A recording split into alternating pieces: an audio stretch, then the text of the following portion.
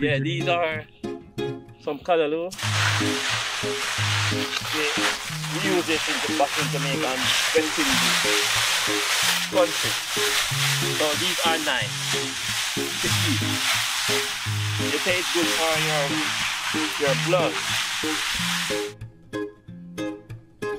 So what we do, we cut it up like this,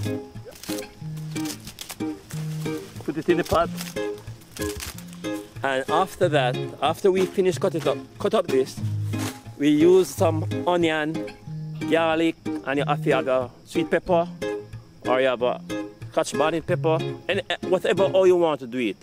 And we put a little butter, or if you don't have any butter, we, you can put a little oil into the callaloo and then you put it on and a little bit, bit of water, just a little. And then you cover it with your pot and put it on the fire for, for around 10 to 15 minutes. Catch you in the next movie.